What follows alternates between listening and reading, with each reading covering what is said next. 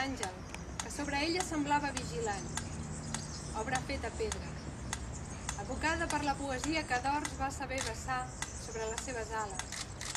I l'aire, l'aire que entre les seves plomes havia d'agitar-se i que podia evocar en els meus somnis quan, anant cap a la mar, passava enfront la casa de l'Hort sense imaginar que anys més tard, anant també cap a les tombes d'aquells que van viure abans que escrivís les meves músiques, passaria enfront de la seva, al costat dels salts dedicat a Matilda i allí em detindria espantat.